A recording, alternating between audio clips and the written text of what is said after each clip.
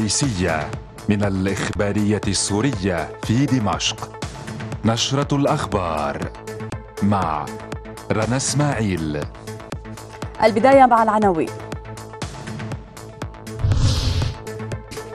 الرئيس الأسد يؤكد أن أعداء سوريا فشلوا في ضرب البنية الاجتماعية القوية للمجتمع السوري.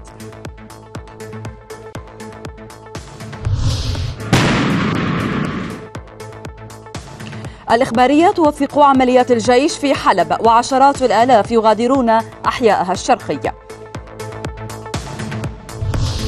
هذا الصاروخ الختم تبع الهدنة.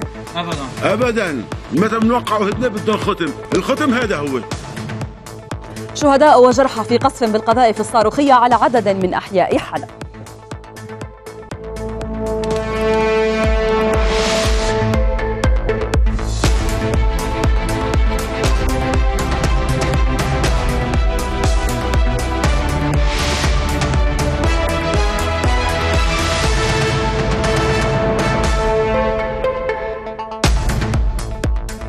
السلام عليكم مشاهدينا ومباشرة إلى تفاصيل الرئيسية أكد الرئيس بشار الأسد أن أعداء سوريا فشلوا في ضرب البنية الاجتماعية القوية للمجتمع السوري. وخلال استقباله الأعضاء المشاركين في اجتماع المكتب الدائم لاتحاد المحامين العرب الذي يعقد في دمشق تحت عنوان حقوق الدول في مواجهة الإرهاب أوضح الرئيس الأسد أن المعركة التي يخوضها الشعب السوري هي معركة وطنية بامتياز لأن أحد أهداف هذه المعركة أو الحرب كان ضرب البنية الاجتماعية القوية للمجتمع السوري وقد فشل أعداء سوريا في تحقيق ذلك لأن الشعب السوري نجح في الحفاظ على وحدته ونسيجه الاجتماعي إلى حد كبير بل وأصبح أكثر تماسكا وتحصينا في هذا الأمر.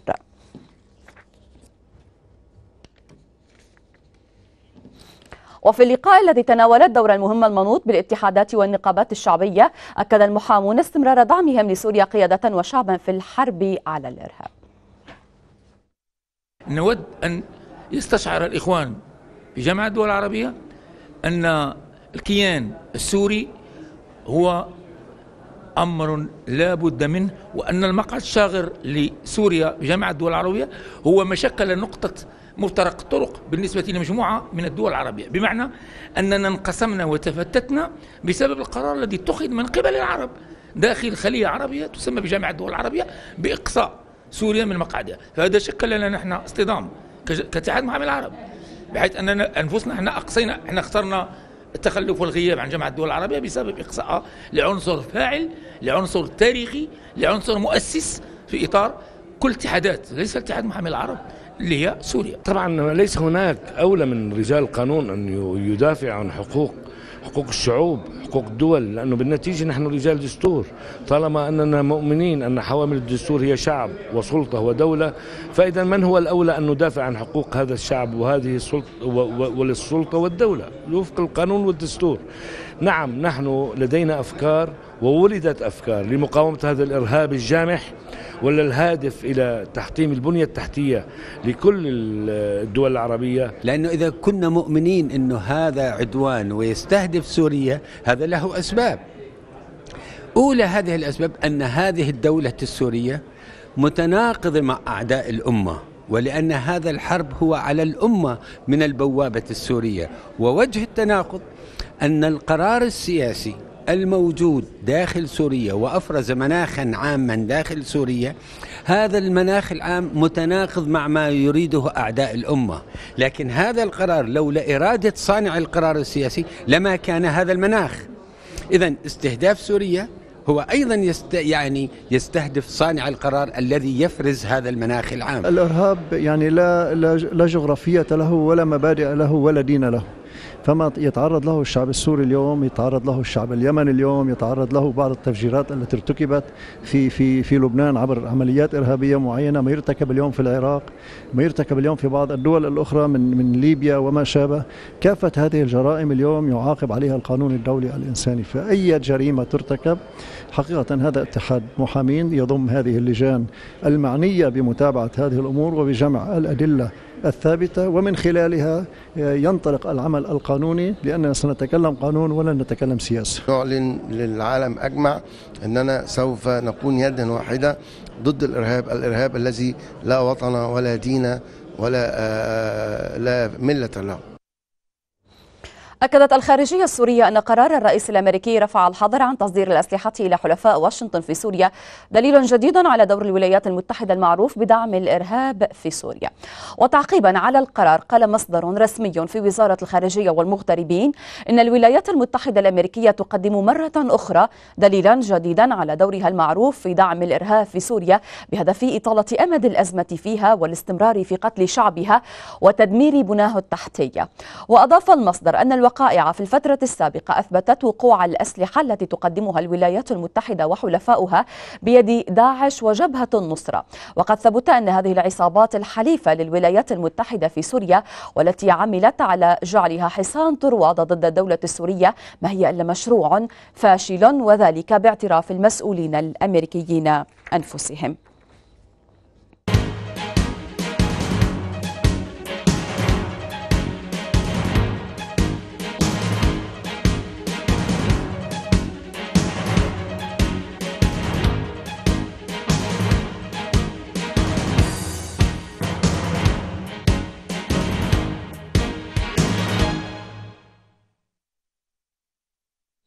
والآن ننتقل إلى حلب لنتابع أبرز التطورات فيها مع فريق الإخبارية هناك وعبدو زمام. إليك عبدو تفضل. عبدو ما هي آخر التطورات في حلب تحية اليوم؟ لك رنا وتحية موصولة لجميع مشاهدي الإخبارية السورية أينما كانوا من حلب هنا دمشق. نبدأ أخبارنا من التطورات الميدانية هنا في مدينة حلب حيث رافق مراسل الإخبارية السورية وليد هنايا وحدات الجيش العربي السوري أثناء العمليات العسكرية في الأحياء الشرقية ورصد تحضيرات اقتحام منطقة الزبدية. لنتابع.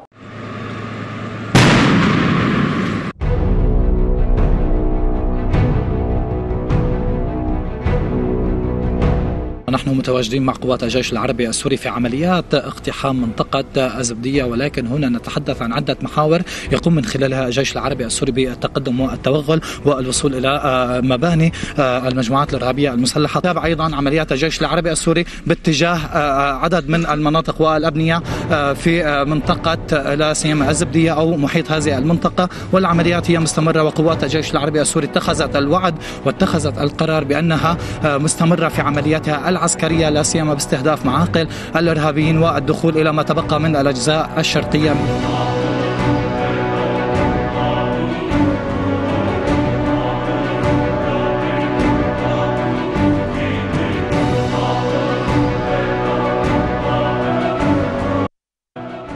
مستمرين بعملياتنا لتطهير كامل الأحياء الشرقي بكافة حلب والنصر آتي. حدنا نحرر حلب كلها وإن شاء الله باقي مناطق سوريا بالأجمع.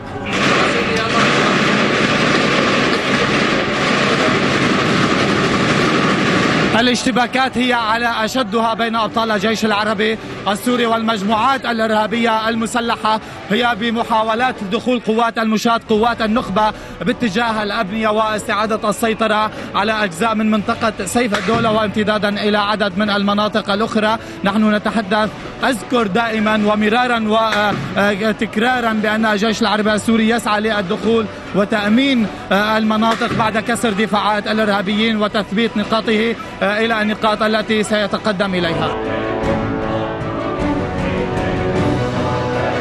عمليات الجيش العربي السوري هي مستمرة والهدف هو واحد النصر أو النصر.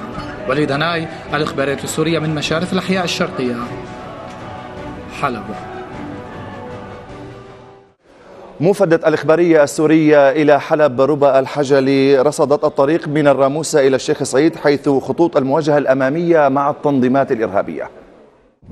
هذا هو الطريق الرئيسي آه، الذي يتجه من الراموسة باتجاه آه، شيخ سعيد وهي الآن خط دفاع آه، أول أو خط معركة رئيسي كما يبدو من خلال الصور والأصوات المتقطعة للاشتباكات والذي يذهب باتجاه مطار حلب وهذا الطريق يسمى طريق أيضا الرقة المقطوع منذ أربع سنوات في عمق الصورة.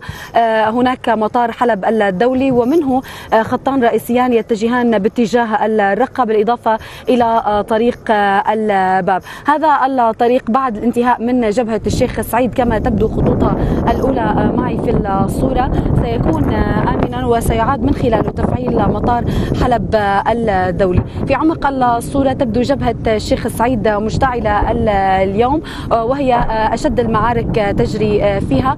بالإضافة إلى بستان القصر وكذلك السكري والعامرية. يلاحظ أيضا يعني حركة متقطعة للاشتباكات التي يبدو بأنها تأخذ زخمها اليوم. هذا الطريق الآتي من الأحياء الشرقية مكان خروج المدنيين من الزبدية وكذلك من الشيخ السعيد وبستان القصر. والصالحين الذين خرج منه الآلاف من المدنيين. اليوم وخلال الأيام السابقة لكن الآن يعني انتهى خروج المدنيين اليوم وتم يعني أخذهم إلى مراكز الإيواء وخاصة هنا المركز القريب في جبريل. في عمق الصورة تبدو أيضا المناطق التي تم تحريرها تباعا ويبدو تواجد أيضا الجيش العربي السوري الذي يؤمن هذه الطرقات ويساعد المدنيين للخروج باتجاه مركز جبرين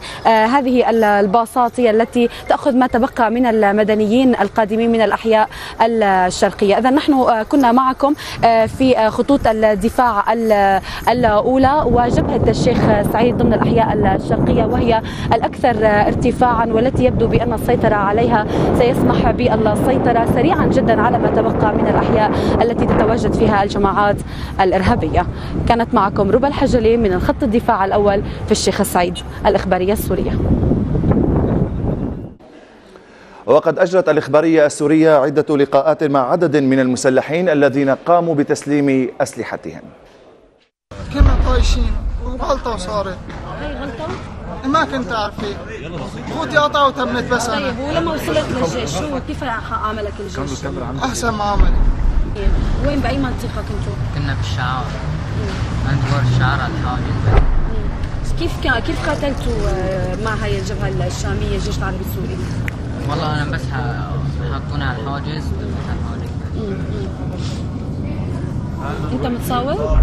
وين كيف تصاوبت؟ أنا تصوبت بوظيفة أنا ورايح على أجيب خبز ومين مقاتبك هيك؟ هن هنيك بالمشفى وبإذنك كمان تصاوبت؟ وين بأي منطقة؟ كمان بجبل بدرو جبل بدرو طيب وكيف تركوكم وفلوا هن هدول المسلحين؟ وقت ما انفتح الطريق من راموس هيك انهربوا كيف طلعتوا مع مين كنت تقاتل جوا؟ مع أي فصيل ارهابي؟ ما كنت ما كنت حاس مقر كنت ما بعيد عن مقر آه كنتوا حاسين مقر وعلى الحواجز بس بس ما قتلتوا هلا مو بالحواجز جوات المقر اي أي مقر تابع لمين لأي فصيل؟ آه فالساقي بس لكم كما قلت الارهابي ما هذا أنتم مع تركيا ما؟ مع تركيا قديش كنت يجيكم دعم؟ والله ما بعرف مين كانوا قادتكم؟ نجيب مين نجيب؟ نجيب؟ الريف نقاتل من وين من أي منطقة؟ من حلب فردوس اليوم طلعتوا؟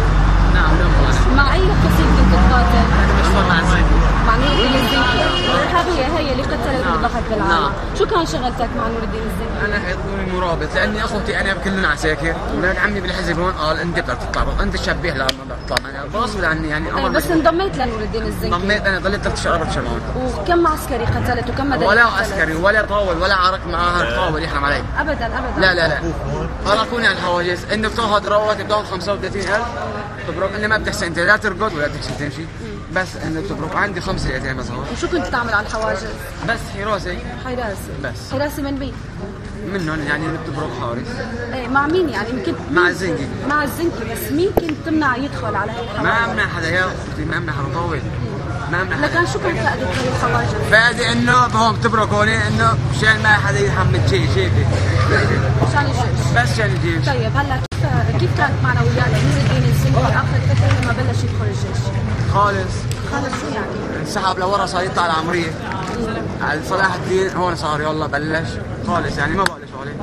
أنتم ما كان معكم أسلحة كثير ما كان في لا سحب سلاحه كله سحب. سحب كل كله صار بالعمريه وليش ما استمر بالقتال بوجه الجيش العربي السوري؟ ما خرجوا لأني. خلص فرط لأني. القاضيات تبعيدهم هزمت لوين راحت؟ طلعت على الريف. نعم وباعونا هن باعونا وراحوا.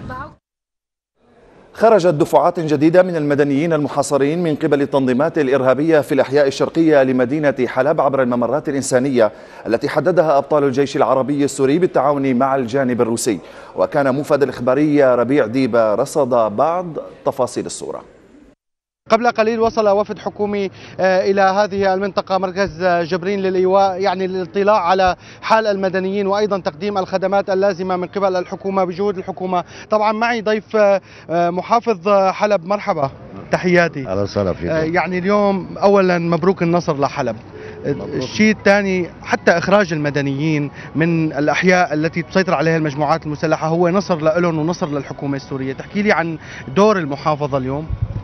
طبعا المحافظة نحن مستمرون في استقبال أهلنا بالأحياء الشرقية القادمين للأحياء الشرقية آه، بعد أن طهر الجيش العربي السوري آه، كافة الأحياء تقريبا ونقوم بتقديم كافة آه، مستلزماتهم من مراكز إيواء وخدمات صحية ومعيشية نعم. وجاهزين لاستقبال باقي أهلنا الوافدين. الوفد الإعلامي اليوم المرافق للتغطية الإعلامية في حلب. آه، مرحبا أستاذ عماد كيفك؟ يعني أنا حاولت أقتنص منك كلمتين. اليوم الوفد الإعلامي وفد إعلامي كبير اجى إعلام وطني ليرافق وليرصد عودة المدنيين وتضحيات رجال الجيش العربي السوري. برأيك اليوم الإعلام ماذا قدم؟ الإعلام السوري ماذا قدم في هذه التغطية الواسعة؟ بصراحة الإعلام السوري لم يقم بدوره على أتم وجه. هو يحاول وسوف يحاول إن شاء الله بشكل دائم. نحن نسعى لأن نكون في المكان لكي ننقل الحقيقة كما هي. كما تشاهدون هناك الآلاف في جبرين أتوا آه، طلبا للخروج من الإرهابيين، أنا أسمع بعض القصص من السيدة من السيدات الموجودات، هناك مآسي تعرضوا لها في تلك المناطق في الداخل، هناك من بترت أيديهم، قطعت أرجلهم، ولم يسمحوا لهم بالخروج للتداوي. قتلوهم.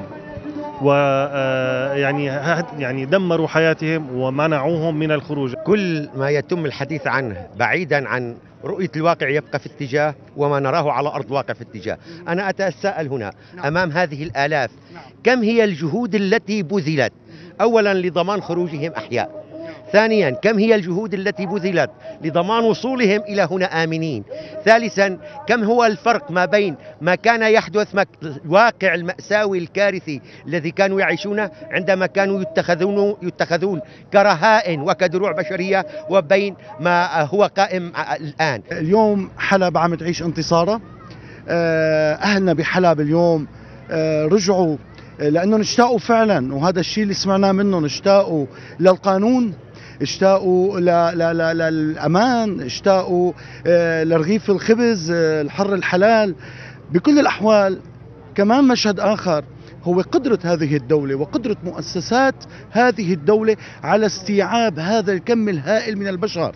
كلياتنا كنا نسمع بالاعلام خاصه بالاعلام الغربي ومنيح اعلامنا الوطني اللي عم يعطي الصورة الحقيقية. لما كانت الدولة تفتح ممرات آمنة شفنا الاستهداف لهم فيبدو انه لغة القوة والانتصارات والبطولات اللي قدمها بواسلنا لفك الحصار عن أهلنا وعن مواطنينا.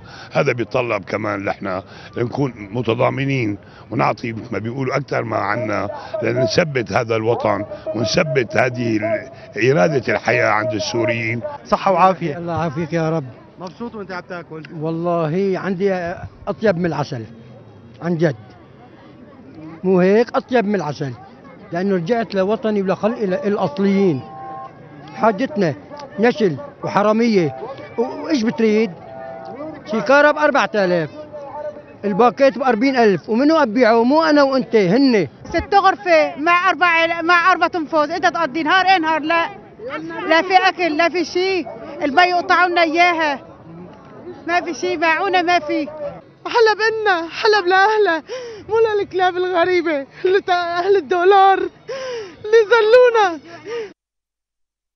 الإخبارية السورية رصدت آراء بعض المدنيين الذين خرجوا من الأحياء الشرقية للمدينة. هي تاني مرة بجي بشوف بيتي الحمد لله رب العالمين والله يحمي الجيش ربي.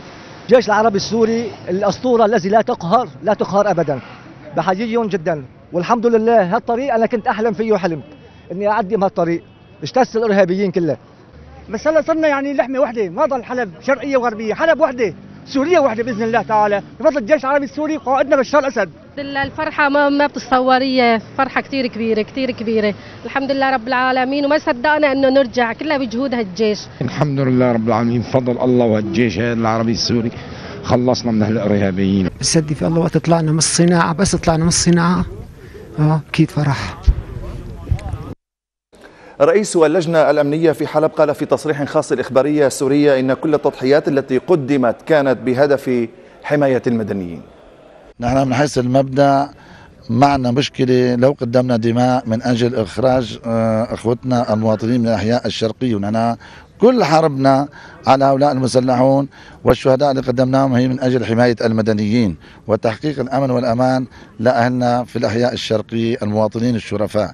لذلك نحن جاهزين نسهر ليلا ونهارا على إخراجهم بسلام وإيصالهم إلى مناطق الأمن والأمان ومن ثم إعادة الإعمار السريعة للمناطق اللي حررها اللي حررها الجيش العربي السوري وعبث بها الإرهابيون لإعادتهم سريعا إلى سكنهم السابق. نحن نعلم بأن هناك التزام بالهدنة على الأقل بالنسبة إلى الأعمال النشطة ولكن منذ ساعات الصباح الأولى هناك خرق كبير من قبل الجماعات الإرهابية. كيف يتعاطى الجيش مع هذا الخرق؟ وهل يمكن أن نقول بأن الهدنة في هذه الأحوال قد سقطت؟ آه، هؤلاء الإرهابيون لا يتقيدون لا بقواعد هدنة ولا بقواعد أخلاق ولا قانون دولي ولا إنساني. آه، هم يخرقون. الهدنات بشكل متتابع. ما ما وقفوا ولا التزموا بأي موعد ولا بأي قاعدة أخلاقية. لذلك آه، نحن بدنا نرد بعنف عليهم وسنعمل قريبا حسب المعركة ضد هؤلاء. ومع التقدم الذي حققه أبطال الجيش العربي السوري التنظيمات الإرهابية تجدد استهدافها للأحياء السكنية. وليد هنايا عاين الواقع في منطقة الفرقان.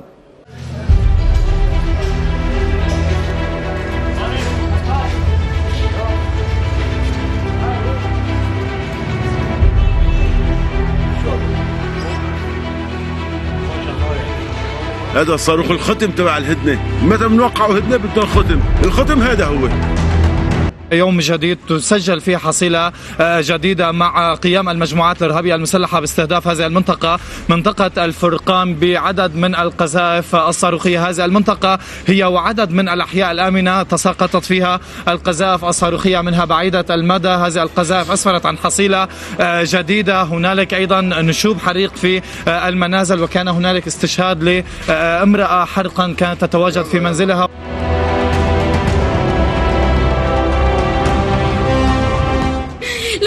جارتي احترقت امبارح كنت قاعدة معها أنا ما بتحمل اشوفها امبارح امبارح كنت بصرفها من الجامعة. شفتها هيك كنت قعدت معها صرنا جد محبوسين بالبيت. عم خاف يزتوا علينا شيء امبارح قالت لي بدي انزل اشم هوا نزلت شوي ورجعت اليوم ماتت. احترقت قتلوها ما لو إلا المرأة بتحترق مو وحدة يحسن يطالع طالعوها ولا. فحمة فحمة طالعوها إيش عمو؟ عمو أنا كنت بيتي كنت مشطح. عم قلب كل شيء الباب فوق. أنا لسه قذيفة بنيتنا.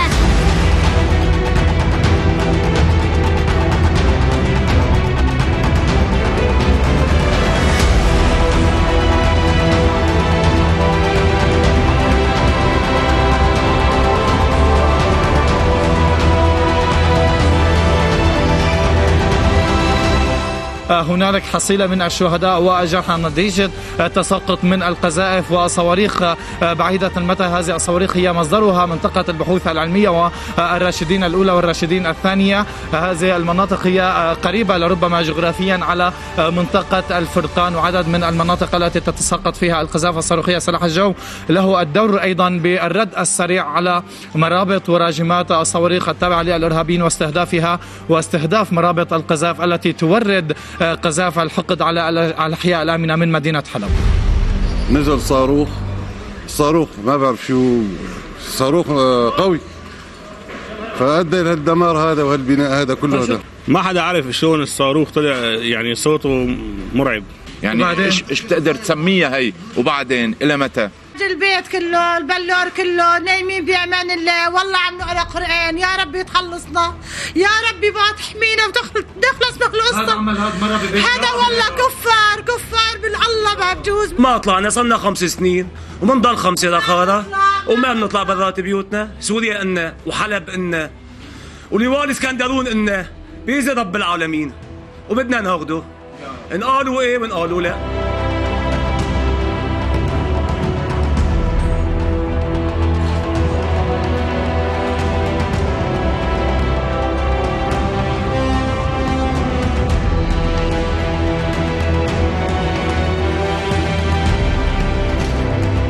هي كلمة واحدة تتحدث فيها المدنيين في مدينة حلب بأنهم صامدين في وجه الإرهاب ووجه قذائف حقدهم وليد هناي للإخبارية السورية من منطقة الفرقان حلب. وللمزيد حول آخر التطورات الميدانية ينضم إلينا عبر الأقمار الصناعية زميلي مراسل الإخبارية السورية أنس رمضان. أنس حياك الله ما الجديد لديك؟ نعم تحية لك عبدو ولمشاهدي الإخبارية السورية والاستديوهات المركزية. دعني أبدأ من استمرار التصعيد الإرهابي باتجاه الأحياء الآمنة والسكنية في مدينة حلب. منذ صباح هذا اليوم استهدفت عشرات الأحياء بداية المارتيني المرديان نزلة أدونيس إضافة إلى الفرقان وحلب الجديدة والحمدانية بعشرات القذائف الصاروخية المتطورة إضافة أيضا لقذائف مدفع جهنم وحمم واحد ما أدى لحصيلة يعني وصلت إلى 15 شهيد وما يزيد عن 100 آخرين. أصيبوا بجروح متفاوتة الخطورة ونقلوا إلى مشفى الرازي الحكومي ومشفى حلب الجامعي مساء هذا اليوم أيضا يعني منذ نحو ساعة من الآن صعدت المجموعات الإرهابية وجددت من استهدافها لتستهدف حي العزيزية وأيضا السليمانية والمرديان بعدد آخر من القذائف المتفجرة ما أدى لحصيلة جديدة من الضحايا في صفوف المدنيين. أغلب اليوم الشهداء هم من النساء والأطفال وأيضا الإصابات التي وصلت إلى المشافي الحكومية. هي في وضع يعني حرج جدا وكما وكما ذكرت المصادر الطبية عبده من من المرجح أن ترتفع حصيلة الضحايا نتيجة هذا التصعيد إضافة إلى يعني الحصيلة من الشهداء ومن الجرحى. سجل أيضا أضرار مادية كبيرة من خلال اندلاع عدة حرائق في منطقة الفرقان هذه المنطقة السكنية بامتياز والتي يعني تضم أسواق تجارية وتعتبر من المناطق والأحياء الاستراتيجية في مدينة حلب. هذا بما يخص القذائف والتصعيد الإرهابي. أما بالنسبة للعمليات العسكرية كما أوردت المصادر الميدانية للإخبارية السورية فإن الجيش العربي السوري أحرز تقدما واسعا في منطقة باب النيرب وتمكنت القوات البرية من إحكام السيطرة على مجمع المدارس الواقع في هذه المنطقة وسط انهيارات لدفاعات المجموعات الإرهابية المسلحة التي تدافع وتحاول أن تدافع باستماتة لأنها تدرك تماما بأن خسارة منطقة جديدة يعني تقلص مواقع سيطرتها لا سيما في الأحياء القريبة من المدينة القديمة والواقعة بطبيعة الحال في الجهة الشرقية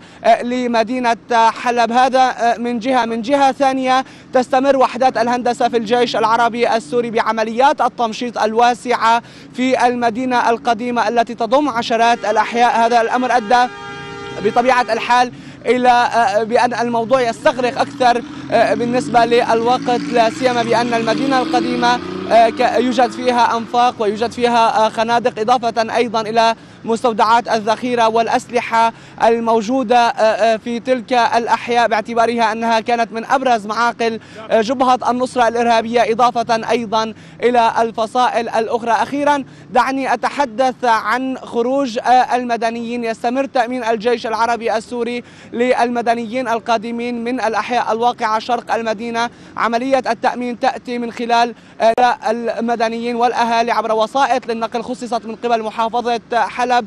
يتم نقلهم إلى منطقة جبرين ومن ثم العودة إلى الأحياء التي يتم تأهيلها فعليا من قبل المحافظة محافظة حلب وإدخال الخدمات كمنطقة مساكن هنانو وباقي المناطق. هذا أبرز ما لدي إلى الآن. أعود إليك عبدو على أن نعود أيضا في رسائل قادمة. أنس رمضان مراسل الإخبارية السورية كنت معي عبر الأقمار الصناعية. شكرا جزيلا لك. مشاهدينا هذا كان أبرز ما لدينا اليوم من مدينة حلب الصامدة. عودة إلى استديوهاتنا في دمشق وإليك رنا. عبد الزمام شكرا جزيلا لك. وأيضا الشكر موصول للزملاء مفادي ومراسلي الإخبارية في حلب. وهذا استعراض سريع مشاهدينا لبعض المعارك التي يخوضها الجيش في حلب مع الزميلة علا ابو خضر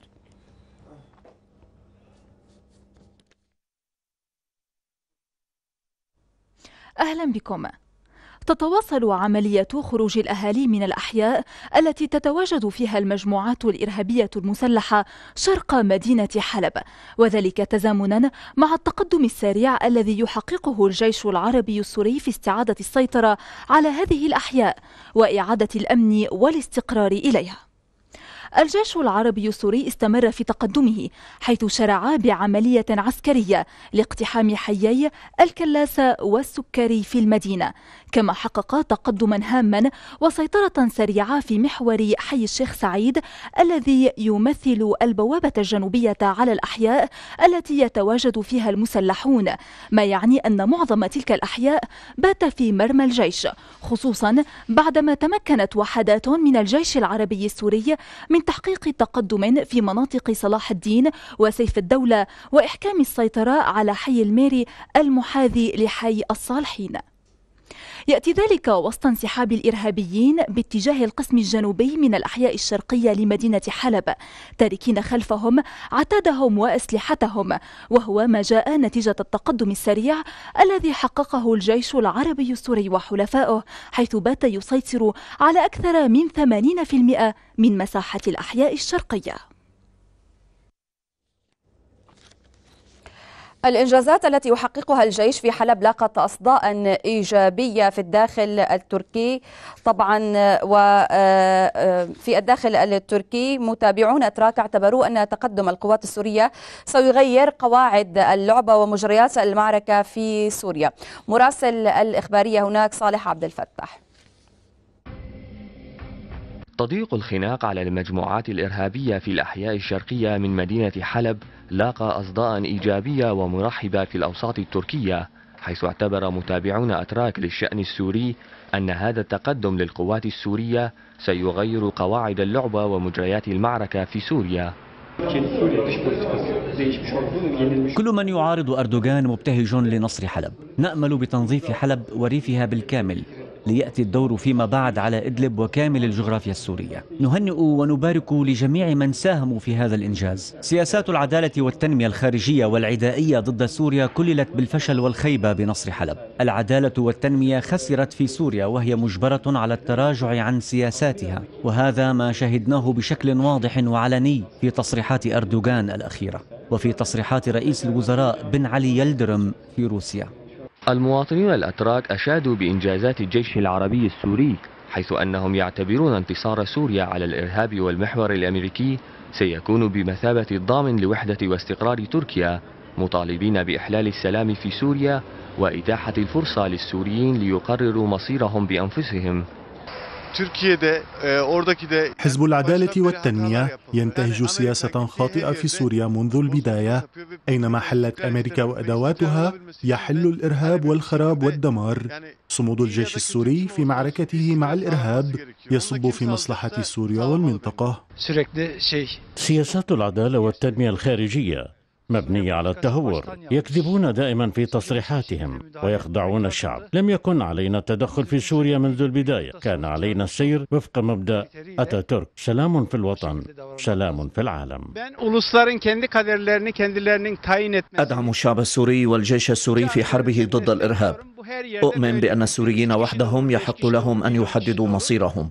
علينا دعمهم في معركتهم ضد الإرهاب نيابة عن شعوب المنطقة؟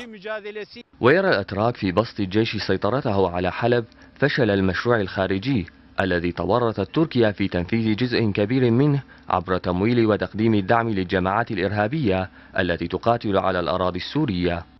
ترحيب الأتراك بانتصارات الجيش العربي السوري ينبع من إيمانهم المطلق بأن القضاء على الإرهاب في سوريا سينعكس إيجابا على الأمن والاستقرار في الداخل التركي.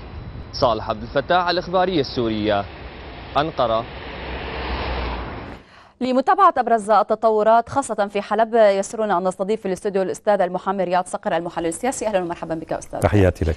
هذه الانتصارات اليوم مستمرة للجيش العربي السوري وحديث عن هدنة وخرق للهدنة كيف يمكن أن نثق بهذه المجموعات الإرهابية المسلحة؟ وبرعاة هذه المجموعات الإرهابية المسلحة اليوم أستاذ رياض في ظل تجارب سابقة معهدا سابقة قاموا بإفشالها هل هناك متغير ربما يجبرهم على الالتزام؟ حقيقة ما تفضلت به صحيح تماما. اليوم لا ثقة بهذه المجموعات المسلحة أبدا على الإطلاق بدليل أنهم خرقوا هذه الهدنة لكن يجب أن نشير إلى نقطة خطيرة وهامة أن هذه الهدنة هي للمدنيين لخروج المدنيين وليس لخروج المسلحين. الحقيقة موضوع المسلحين هو مجال بحث ومجال نقاش اليوم بين روسيا وأمريكا في جنيف وفي ألمانيا حيث هناك اتصالات بين وزيري خارجية البلدين حول موضوع إخراج هؤلاء المسلحين. وأنا أضيف هنا نقطة أخرى أيضا أن من ضمن النقاط التي تم نقاشها على المستوى الدولي بين الوزيرين هي محاولة إخراج 900 مسلح نصفهم من آه، آه، جبهة النصرة. هذا يعطينا انطباع أيضا بأن جبهة النصرة هي تحت رعاية الولايات المتحدة الأمريكية وحلفاء الإرهابيين في العالم وخاصة في الغرب بشقيه الأوروبي والأمريكي خاصة وأن فرنسا وبريطانيا اليوم هم الرعاة الحقيقيين الذين كانوا دوليا على المستوى الدولي لهذه التنظيمات الإرهابية. إذا هذه الهدنة من خرقها هم المسلحون. وأقول أيضا أن المدنيين استطاع الجيش العربي السوري بانتصاراته باندفاعه نحو هذا الانتصار الكبير في حلب.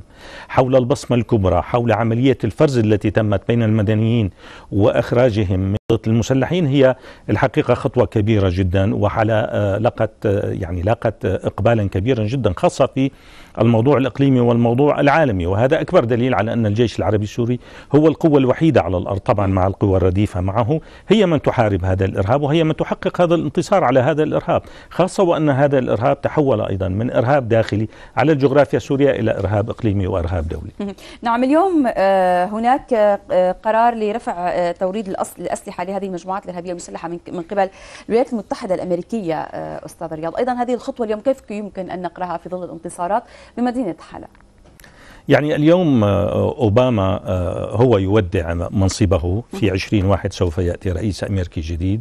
يتخذ هذا القرار نتيجة ضغط شركات الأسلحة. شركات الأسلحة ضغطت بهذا الاتجاه لأنها آه، بقرار المنع بتوريد أسلحة وخاصة بعد توجيه الانتقادات الكبيرة إلى السعودية من قبل منظمات حقوق الإنسان العالمية على الغارات. التي يذهب ضحيتها في اليمن وفي عدة مناطق أخرى. هذا يعطينا انطباع بأن الشركات بدأت تطالب بأموال جديدة وضخ أموال جديدة إليها وبالتالي كانت هي وراء إقدام أوباما على رفع هذا الحظر. رفع هذا الحظر عن توريد الأسلحة إلى المنطقة يعطينا انطباع آخر بأن هذه الأسلحة سوف تصل إلى الإرهابيين خاصة وأن ثبت بالدليل القاطع أن مستودعات الذخيرة التي تم آه، آه، الجيش وضع يده عليها في حلب هي أولا من مصادر متعددة صفقات مع بلغاريا مع أوكرانيا وجدت مرسومة على صناديق الأسلحة الموجودة في المستودعات في حلب. أمريكية حتى هناك أسلحة إسرائيلية وجد مكتوب عليها أيضا باللغة العبرية. هذا دليل على أن صفقات الأسلحة التي عقدت مع بلغاريا مع أوكرانيا مع عدة دول أوروبية الحقيقة الشرقية كانت في السابق هي من أوصلت هذا السلاح إلى آه، آه، هؤلاء المسلحين الإرهابيين على الأرض ليس فقط في حلب ولكن في عدة مناطق أخرى. كلنا نتذكر في معركة القلمون والقصير وجد أيضا هناك سيارات رادارية آه، ممولة من قبل الكيان الصهيوني في هذه المنطقة وقام الجيش بوضع يده عليها في حينها. إذا هذا يذكرنا بأن عمليات توريد الأسلحة لن تقف أمام رفع منع توريد هذه الأسلحة أو أمام توريدها إلى هؤلاء الإرهابيين بدليل أن الحلفاء للولايات المتحدة الأمريكية الإقليميين هم من يقومون بعمليات توريد لهذا الدعم.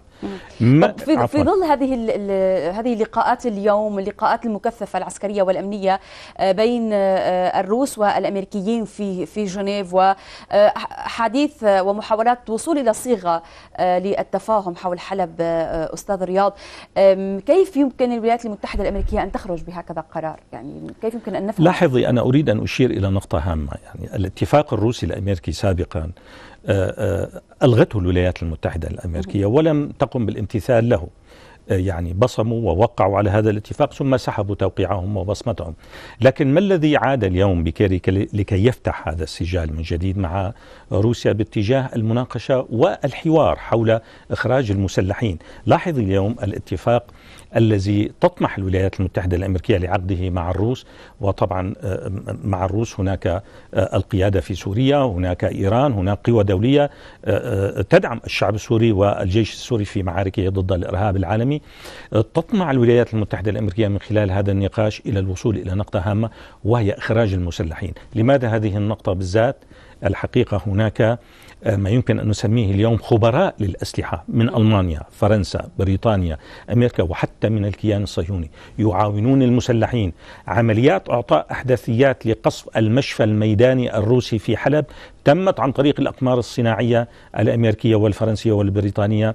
إعطاء هذه الإحداثيات للمسلحين عن طريق خبرائهم الذين يدعمون المسلحين على الأرض في حلب وبالتالي هم يريدون إخراج هؤلاء الخبراء. هم في الحقيقة أنا أقول لك نقطة هامة. المسلحين في حلب اليوم المحاصرين من قبل الجيش العربي السوري آه، أصبحوا في في موقف الحقيقة ضعيف جدا. وبالتالي ورقتهم انتهت بالنسبة للغرب وبالنسبة لأمريكا. أمريكا لا ترى في هذه المنطقة إلا إسرائيل والكيان الصهيوني. هي لا ترى. هم ورقة بين أيديها. وبالتالي هم آه، آه، يريدون إخراج حلفائهم يريدون إخراج خبرائهم من هذه المنطقة. لا يريدون المسلحين. بدليل أن الاتفاق الروسي التركي كان يحمل في طياته هذا الموضوع بإخراج المسلحين الذين تدعمهم تركيا وخاصة نور الدين الزنكي وغيرها من هذه الكتائب المسلحة الإرهابية. إذا الولايات المتحدة الأمريكية تريد أن تقوم بعمل اتفاق مع روسيا مثل الاتفاق التركي الروسي. نعم آه، ابقى معي آه، آه، أستاذ رياض أو يبدو الاتصال غير جاهز. طيب اليوم أستاذ رياض هذه الانتصارات في في حلب انعكاسها من وجهة نظرك وإلى أي حد هي تفرض اليوم؟ واقع مختلف. الواقع الميداني إلى أي حد يفرض واقع مختلف سواء في السياسة وفي طريقة التعاطي مع الأزمة السورية للغرب ولدول الإقليم. الحقيقة هذه الانتصارات العظيمة للجيش العربي السوري ومن خلفه شعبنا ووطننا وتاريخنا وحضاراتنا هي أكبر رمز وأكبر, وأكبر تعليم على أن القيادة في سوريا كانت منذ البداية مع الشعب والقيادة والتاريخ مؤمنة بهذا الانتصار. وكنا نتحدث عن هذا الانتصار. يعني كلنا نتذكر على الشاشات الإعلامية الوطنية وحتى العالمية كنا نقول دائما نحن مؤمنون بانتصارنا على هذا الإرهاب العالمي. وبالتالي هذه الانتصارات سوف تكتب في التاريخ بأننا نحن من أملينا شروطنا على الغربيين وبالتالي مشاريعهم التي خسروها في الماضي هم سيخسرونها في المستقبل. طيب اليوم هناك خروج للآلاف عشرات الآلاف من المدنيين خرجوا من من مناطق وجود المسلحين الحياة الشرقية لمدينة حلب كان يتم الحديث عن أنهم حواضن بشرية. اليوم تغير الخطاب. حتى جون كيري يتحدث ويقول بأنه المجموعات الإرهابية المسلحة هي التي منعت المدنيين آه، طوال الفترة السابقة من الخروج من الأحياء الشرقية رغم أنه هذا الخطاب كان سابقا بغير هذه الصيغة. كما قلت كان يقال بأنه هي حواضن شعبية للمجموعات المسلحة وهم لا يريدون الخروج. إلى أي حد فعلا هناك تغير في في الذهنية فرضها الواقع آه، الميدان اليوم صحيح. أستاذ رياض وستنعكس بطريقة التعاطي. أنا أقول لك نقطة هامة اليوم. كلنا نعرف الهجوم الكبير الذي تلقته سوريا من قبل الأمم المتحدة ومن قبل الولايات المتحدة الأمريكية عندما تم فرض المصالحة الوطنية في داريا وفي المعظمية وفي العديد من المناطق، ماذا كانوا يتهموننا؟ يتهموننا بأننا نقوم بتغيير الواقع الديموغرافي السكاني لهذه المناطق، وهم تابعوا بهذا الاتجاه وبدليل أنهم كانوا بأن القيادة في سوريا تقوم بتغيير هذا الواقع الديمغرافي هم لا يعرفون حقيقة بأننا حققنا جزء كبير من انتصارنا من خلال هذه المصالحة الوطنية وأصبحت واقعا مفروضا من قبل القيادة ومن قبل الشعب في سوريا ومن قبل الجيش. هذه الانتصارات في حلب اليوم فرضت واقعا آخر على هؤلاء الغربيين. فرضت بأننا فعلا هذه هؤلاء المدنيين هم ليسوا حواضن للتنظيمات المسلحة الإرهابية.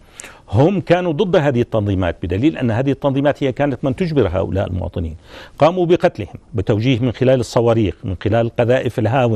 من خلال العبوات الناسفة كانوا يضربون ال ال ال الأخوة المدنيين الخارجين على المعابر في حلب وبالتالي هناك شهداء كثيرين في هذه المنطقة. أشكرك جزيل الشكر الأستاذ رياض صقر المحامي المحلل السياسي كنت معنا.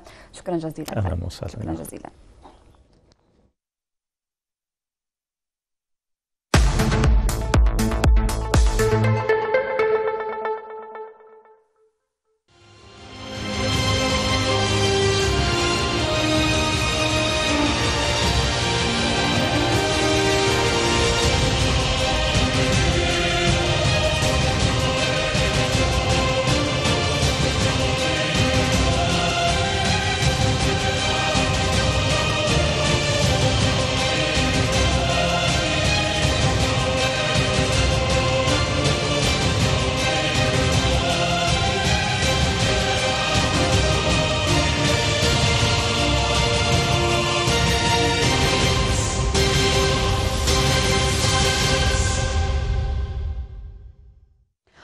وحدات الجيش تحبط محاولة تسلل لتنظيم داعش في منطقة الصوامع آه، شرق تدمر للمزيد ينضم لنا عبر الأقمار الصناعية من بيروت ربيع ديبي مفد الإخبارية السورية عفوا من حلب مفد الإخبارية السورية.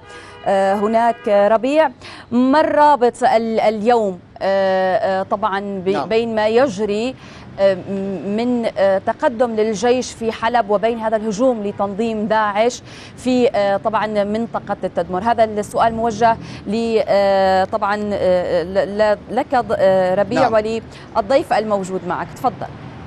نعم. بشكل عام رنا يعني آه، انتصارات حلب آه، يعني سيطرات الجيش العربي السوري السبعة كيلومتر المربع الأخيرة التي تحتفظ فيها المجموعات المسلحة ورقة الضغط التي انتزعتها الدولة السورية والشعب السوري من أيدي المجموعات الإرهابية المسلحة وهي الأهالي المدنيين والخروج بعشرات الآلاف وبدأ يعني آه، دخول الأحياء الشرقية وما تبقى من الأحياء الشرقية من حلب في مرحلة الخواتيم السعيدة والسيطرة الكاملة على مدينة حلب خلال الأيام المقبلة. يبدو أن ذلك ذلك أزعج يعني آه، آه، داعمي الإرهابيين وتحريك أدواتهم على الأرض السورية. تنظيم داعش الإرهابي قام بهجوم شرس يعني في محيط حقل جزل وشاعر. معي للاستيضاح حول آخر المعلومات التي يعني أو العمليات التي تجري في مدينة تدمر ومحيط مدينة تدمر. الدكتور حسن حسن الخبير العسكري والاستراتيجي تحية لك. يعني هناك آه، سيطرات أو معلومات تتوارد للإخبارية عن سيطرات لتنظيم داعش الإرهابي في محيط حقل جزل وشاعر. ما ماذا يحدث؟ أنا أتساءل هنا يعني ما هو الغريب في ذلك؟ نحن نتحدث عن حرب مركبة حرب مزمنة حرب تشترك فيها أكثر من 100 دولة حرب في الطرف المعادي الولايات المتحدة الأمريكية وبريطانيا وفرنسا وألمانيا ومعهم عشرات الدول. وبالتالي في صيغة الحروب عبر تاريخ الحروب لا يوجد حرب كل معاركها كر كر كر كر لا على الإطلاق. قد يكون هناك تقدم في هذا المحور قد يحدث تعثر في مكان آخر لكن فيما يتعلق بما حدث في حلب هو بالعلم العسكري إعجاز بكل ما تعنيه الكلمة. هو كسر لكل آه، يعني الأرقام المتعارف عليها في العلم العسكري النظري. لذلك أمام هول ما حدث أمام نتائجه أمام تداعياته متوقع جدا أن تلجأ الولايات المتحدة الأمريكية بشكل أساسي وتوعز إلى المشغل الإقليمي تركيا كان أم سعوديا أم خليجيا لتجيش الآلاف إن لم يكن أكثر من الوحوش التي ينطوت تحت آه، إرهابهم بغض النظر عن مسمياته للتقليل من ألق وإنجاز ما حدث في حلب ما حدث ويحدث. إذا للتقليل من إنجاز الجيش العربي السوري والقوى الرديفة لوقف الانهيارات في الروح المعنوية العالية في الروح الروح المعنوية لدى هذه الجماهير المجامع الإرهابية المسلحة للتأثير على الروح المعنوية للمواطن السوري وللمقاتل السوري لمحاولة تصدير صورة آه، يعني خادعة بأن هذه المجاميع ما تزال قادرة على أن تفعل شيء ما. لذلك قد يكون هناك تصعيد بهذا الاتجاه أو التقدم يعني محاولة التقدم باتجاه آه، شاعر أو الجزل ما أعلم حسب يعني المتواتر بأن هناك هجوم بأعداد كبيرة باتجاه يعني منطقة تبعد حوالي 10 كيلومتر عن مدينة تدمر. آه، وحدات الجيش العربي السوري المكلفة بالدفاع أو بالمنتشرة في تلك المنطقة تتعامل مع تلك الموجات المتتالية التي تعتمد أصبح واضحا تعتمد السيارات المفخخة والانتحاريين. كل هذا لن يغير من حقيقة الأمر شيء. وقراءتي الذاتية في مثل هذا التصعيد غير المسبوق أرى فيه رسالة موجهة ليست إلى الجيش السوري ولا إلى الدولة السورية بشكل مباشر بل هي موجهة إلى روسيا الفيدرالية الفضائية بشكل مباشر كون مساهمة أو مشاركة الجزء من القوى الجوية الفضائية الروسية كان بداية ثمراته تطهير تدمر. وبالتالي لكي يوصلوا رسالة للأصدقاء الروس بأن الاستمرار في هذا الموقف الداعم للدولة السورية. والدعم للدولة السورية يعني المنسجم مع قرارات الشرع الدولي المنسجم مع القانون الدولي. وكل هذه الحرب متناقضة مع ما كل ما له علاقة بقانون أو إنسانية الإنسان. هذه رسالة موجهة لروسيا الاتحادية وموجهة لسوريا ومحور المقاومة. لكن والأيام القليلة القادمة ستثبت ذلك حتى وإن استطاعوا. أن يتقدموا في هذا المحور أو في ذاك المحور لن يكون إلا تقدما آنيا ويعني مرحليا وستكون إن شاء الله مجرد إنجاز إتمام الحسم في حلب. هذا يعني فصل المعركة فصل هذه الحرب. هم يريدون أن يشغلوا الجيش أن يلفتوا الأنظار باتجاه آخر أن يوصلوا رسالة بأنه وأن استطاع الجيش تطهير حلب. يعني الحرب لم تنتهي. وهذا ما تحدث به لا أقول هذا المسؤول عن هذا الفصيل الإرهابي أو ذاك هذا ما تحدث به جون كيري وغيره من المسؤولين الأمريكيين أنه حتى لو تم إعادة حلب فهذا لا يعني أن الحرب انتهت. بكل تأكيد الحرب لم تنتهي. الحرب عبارة عن معارك متعددة لكن أهم هذه المعارك أو من أهم هذه المعارك معركة حلب وإن شاء الله الحسم هو شبه ناجز وسيتم انجازه وما هذه هذا التصعيد غير المسبوق باتجاه يعني حقل جاز جزل وشاعر أو باتجاه تدمر لن يكون على الأطلاق إلا إذا حدث تقدم سيكون تقدم تكتيكي آني مرحلي لن يعدم الجيش والقوى الرديفة الوسيلة للتعامل معه ومع تداعياته وتفريغه من كل ما يتم أو ما يحاولون تسويقه على أنه إنجازات. بشكل عام دكتور يعني إذا تتبعت المسار الزمني لكل العمليات العسكرية أو الهجوم التنظيمات الإرهابية في محيط تدمر خلال الأربع سنوات الماضية دائما هناك صمود هناك إعادة تموضع في بعض المناطق ومن ثم سيطرات واسعة أكثر في مرحلة لاحقة اليوم لماذا في هذه اللحظة يتم يعني التعويم الإعلامي من قبل القنوات الداعمة للإرهابيين على هذا الهجوم هل هو لتخفيف من نصر حلب يعني؟ بكل تأكيد أحد أهم الأسباب تقليل من قلق الإنجازات ومدلول الإنجازات وتداعيات هذه الإنجازات لوقف انهيار الروح المعنوية وتآكل إرادة القتال لدى المجاميع الإرهابية المسلحة في الوقت ذاته لمحاولة تصدير صورة بأن وإن تم تطهير حلب إمكانية خلط الأوراق قائمة. لا أرى في هذا التصعيد فرقا عن العدوان الإسرائيلي قبل عدة أيام. الصاروخي وقبله الجوي. ولا أرى فرقا بين هذا التصعيد وما بين العدوان الأمريكي الذي بعد شهرين تحدث وقال بأن انه قام بقصف مواقع الجيش العربي السوري خطأ والخطأ قديش المسافة 9 كيلومتر. وكأننا نتحدث عن جيش يعني آه، يعود لدولة مبتدئة أو ناشئة. هذا الكلام لا يدل إلا على مدى الأثر ويعني التداعيات والحصر في الزاوية الضيقة لكل هذه. مشغلي هذه المجاميع الإرهابية المسلحة وفي مقدمتهم الولايات المتحدة الأمريكية. لكن أنا هون بالربط ما بين حلب وما بين تدمر. اليوم كنا بحق بمركز جبورين.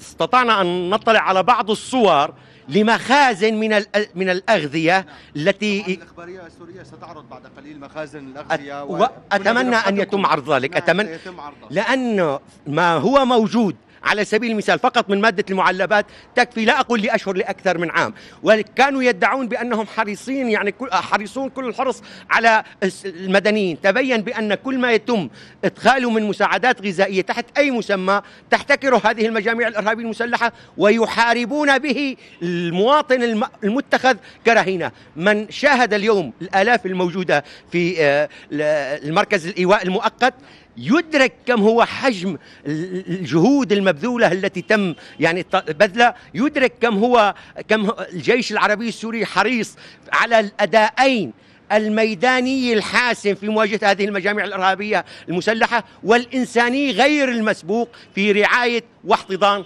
أهلنا. وبالتالي مثل هذا الجيش بمثل هذه الأخلاقية بمثل هذه الإنجازات هذا الإصرار هذا يذكرني أيضا بالبيان الذي صدر آه، قبل عدة أيام بأن موضوع إخراج المسلحين من حلب قرار لا رجعة فيه. هذا ما جعل جنون الآخرين جن جنونهم ارتفع آه، وتيرة يعني لا أقول الأحباط والإزعاج وإنما القنوط ويريدون لهذه المجامع الإرهابية المسلحة الاستمرار في دورها. لا أقول التخريبي وإنما دورها الوحشي دورها اللا إنساني. هذه هي رسالتهم ورسالة الجيش العربي السوري من خلال احتضان أهلنا الذين كانوا يتخذون كرهائن. طالما أن هذه الورقة الأصعب التي كانت بيد المسلحين والتي أرادوا من خلالها ثني ولي زراعة الدولة السورية والجيش السوري والآن أصبحت خارج عهدتهم خارج السيطرة إذا الأمر المتوقع أن يكون هناك تصعيد وهذا يعني يقودني أن الحدود الأردنية ما تزال مفتوحة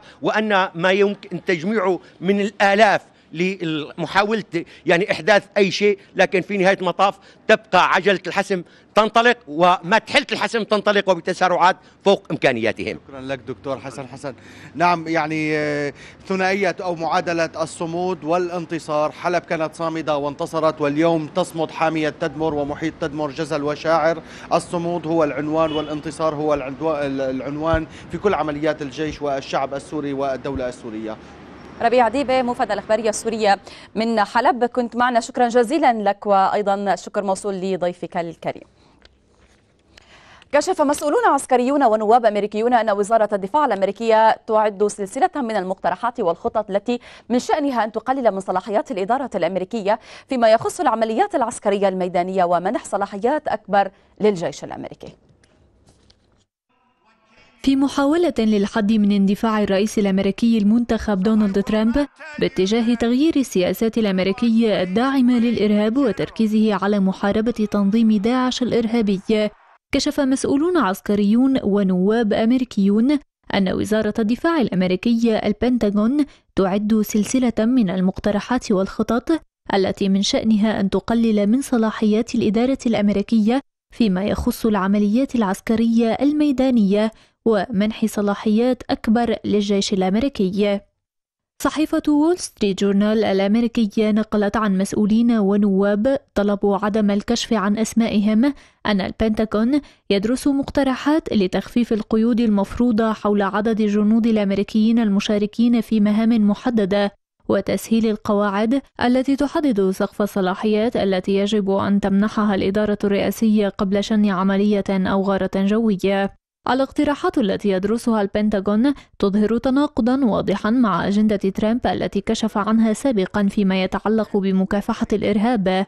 حيث تقود الولايات المتحدة الأمريكية منذ أكثر من سنتين تحالفا استعراضيا غير شرعي بذريعة محاربة تنظيم داعش الإرهابي والذي لم يحقق أي نتائج تذكر على الأرض منذ إنشائه عام 2014 بل أسهم في تمدد التنظيم المتطرف لتطول اعتداءاته الدول الداعمة له.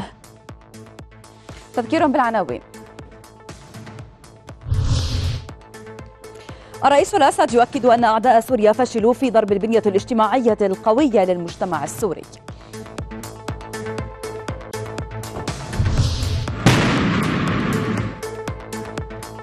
الإخبارية توثق عمليات الجيش في حلب وعشرات الآلاف يغادرون أحياءها الشرقية.